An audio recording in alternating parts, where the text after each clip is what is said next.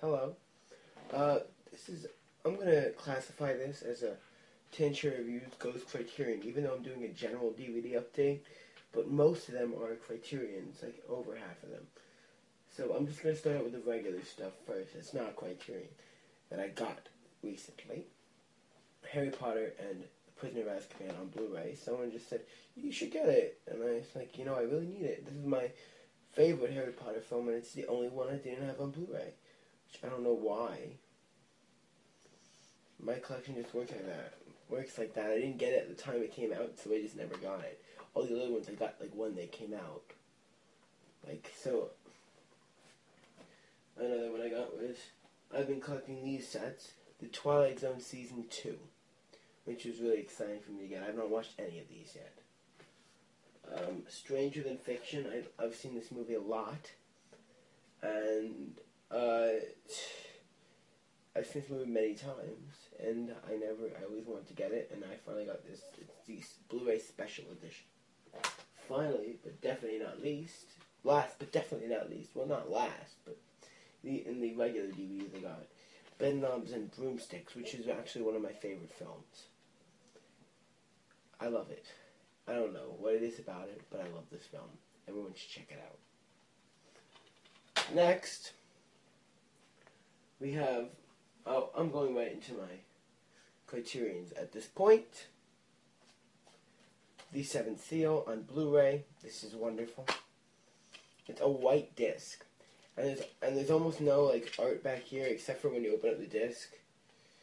You take out the disc. There's some art back there, and this also comes with a the like 80 or 90 minute documentary called Bergman Island, which is like him going back to I forget what the name of the island is, but he filmed Seven Seal and a lot of his most famous works there at the island, and uh, no, doesn't say.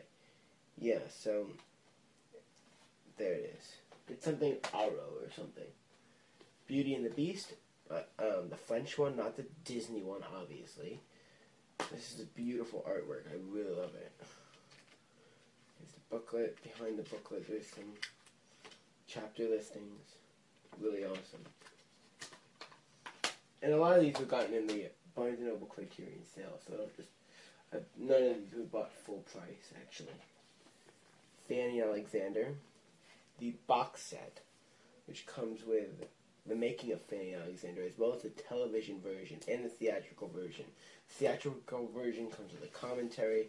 They all come in separate digibook packs like this. It's really awesome. I saw, I watched the television version. I really, really, probably one of the best films I've ever seen. It's amazing. Everybody should see it. Uh, another Bergman, Scenes from a Marriage, which I have seen three out of the six. I, I always like to watch the television versions because they're longer and like I feel like I'm missing out or something. And they're usually like the director's preferred version, because Bergman wanted to release them in theaters, but like they're like five hours long, so they won't let him do it.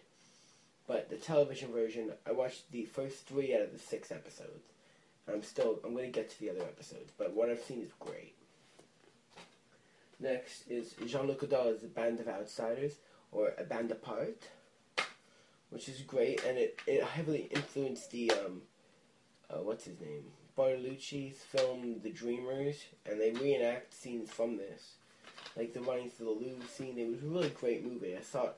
I, Netflixed it a while ago, and, and it's actually cheaper than most Criterion, so I decided to pick it up.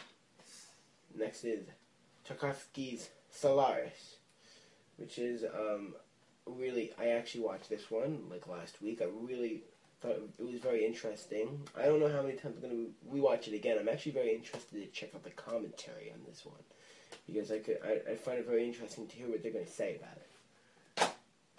Next, we have Krzysztof Kieslowski's Krzysztof Kieslowski's The Double Life of Veronique.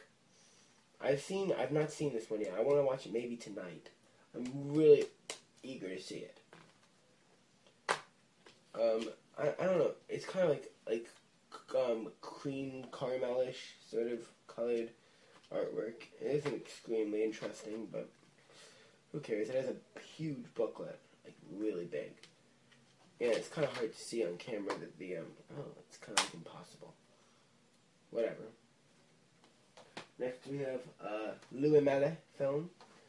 Au revoir les enfants. I think that's how you say it. Les enfants. Les enfants. Whatever. I've seen this movie on Netflix Instant when it was on Netflix Instant. I don't know. There's no commentary on this. I wouldn't have gotten it if it wasn't like twenty dollars. Um, there's no commentary on this. I really like the movie. The booklet is small. I didn't know. I didn't know that prior. I knew there was no commentary prior, and there's no internal artwork, which there usually almost always is for these Criterions, which is weird.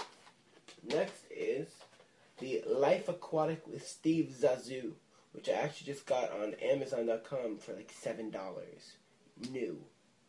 And it, and I expected it not just to be like this and not come with this. I was extremely pleasantly surprised that this whole thing is intact and it was that cheap. It's ridiculous. I've not I've seen like half of the movie. What I've seen I liked of it. But I have the Royal Tenenbaums and I'm happy to have this one now with the slipcover. And most Criterions don't come with slipcovers. Only like the Wes Anderson ones do. Next is a movie I've not seen. It's directed by Nicholas Ray, who also directed Rebel Without a Cause. That's Bigger Than Life. And I actually did not get this one. I picked this one up in a um, Borders closing sale for 50% off. So I still got it for 50% off, even though not at the Barnes & Noble sale. And, of course, there is some internal artwork in this one. Can't really see the background, but there's a chapter listing here. You can't really see what's in the background, but there's something there. And um, Bigger Than Life, it says play, pain and chorus, cortisone. That's weird. Bigger Than Life, it's kind of a cool design. You can't really see it. Uh, it's like reddish. It's really cool design on the on the um, booklet. Last but not least, I just got this in the mail today. John Travolta and Brian De Palma's Blowout. And as almost always, there is some uh, artwork inside. One thing that left me a little upset is that there's only 16, well, 17 chapters in a 108 minute film. Like, really? Like, look at this. This is bigger than life. Let me go back. Let's see how many chapters there are in this film. There's like 20. And that's a 95 minute film. And this is like over a 100 minute film, and there's only like 16. The 17 is colored bars, which doesn't really count. It kind of made me a little bit upset because I like being able to. I don't know, I just like it. And like, um, because what they do, especially, there's a commentary on this disc, I'm pretty sure. Oh, there's not. No. Well, it doesn't matter as much.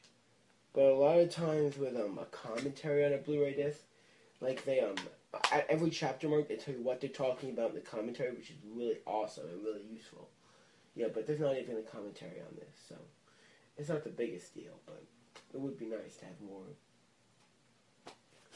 chapters, you know? Like, I get annoyed with a film like Magnolia, which has, like, it's like a three-hour film and has maybe six, ten, six to ten chapter markers. But whatever. Enough on that. Those are all the films I got. Let's see if I can pick them all up and then go.